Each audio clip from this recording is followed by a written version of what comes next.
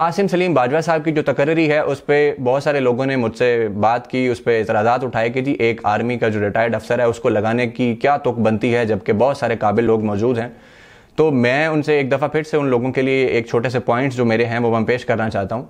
دنیا بھر کے جو ممالک ہیں، ان میں ایکس ملٹری آفیشل جو ہیں، ان کو سویلین پوسٹوں پہ لگایا جاتا ہے، کیونکہ ظاہر ہے، ان کا ایک تجربہ ہوتا ہے۔ بہت سارے لوگ ہوتے ہیں، بلا شبہ ہوتے ہیں، جو ٹیکنوکریٹس ہوتے ہیں، جو اپنی اپنی فیلڈز کے ماہر ہوتے ہیں۔ امریکہ جو اس وقت دنیا کا سب سے بڑا ملک اس طرح سے کہہ لیں کہ وہ ایک ڈیموکریسی بھی ہے، اس کے علاوہ ان کا جو اکانومی کا سسٹم ہے وہ بھی بہت سٹرونگ ہے، ان کے پاس پروفیشنلز بھی بہت ہیں۔ امریکہ کی جو یونیورسٹیاں ہیں، وہ دنیا میں ٹاپ یونیورسٹیز ہیں۔ لیکن اس کے باوجود امریکہ کے جو چوالیس صدور تھے ان میں سے چھبیس صدور آج تک ایکس ملٹری آفیشل تھے، جرنیل تھے۔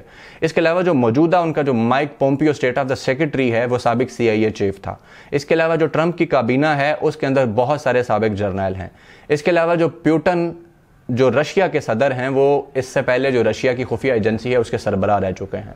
اس کے علاوہ جو ہمارا ہمسایہ ملک بھارت ہے اس میں آپ نے نام سنا ہوگا، بہت مشہور نام تھا اجیت دوبل جو نیشنل سیکورٹی ایڈوائزر تھے اور اب چیف سیکورٹی کے طور پر، وہ افیسر کے طور پر کام کر رہے ہیں۔ مودی کے ساتھ وہ ایکس را کے چیف رہ چکے ہیں۔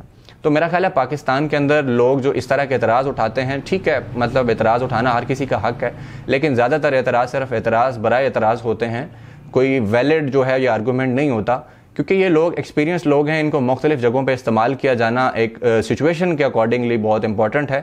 اس سے پہلے بھی اس ملک میں ہو چکا ہے، جیسے لیفٹیننٹ جنرل ریٹائرڈ عبد القادر جو ہیں، وہ مسلم لیگ نون کی طرف سے دس سال جو ہیں وہ ایم این اے رہ چکے ہیں۔ اس کے علاوہ بہت ساری اہم فیڈرل پوسٹ پہ وہ تعینات رہ چکے ہیں۔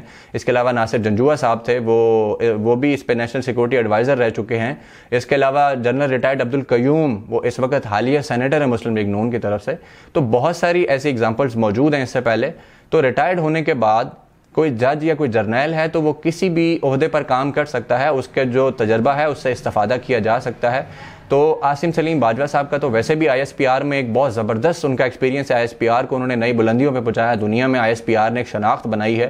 تو میڈیا کے جو معاملات ہیں ان کو ڈیل کرنے کا ان کا جو تجربہ ہے، وہ میرا خیال ہے کہ ہماری جو اطلاعات کی منسٹری ہے، اس میں بہت حد تک اس پر وہ فائدہ ہوگا۔ اس کے علاوہ جو پی ٹی وی کے معاملات ہیں، وہ میں نے پہلی ویڈیو میں بھی بتایا تھا کہ پی ٹی وی کے معاملات بڑے عجیب قسم کے ہیں، بہت گمبھیر قسم کے ہیں کہ اربوں روپے کا بجٹ وہ لیتے ہیں۔ اس کے علاوہ گورنمنٹ عوام کے ٹیکس سے ان کو پیسے دیتی ہے، لیکن پی ٹی وی کی جو حالت ہے، وہ اس قدر عجیب ہے کہ شاید کوئی سوشل میڈیا کے جو لوگ ہیں، وہ ان سے اچھی ویڈیوز بنا لیتے ہوں گے۔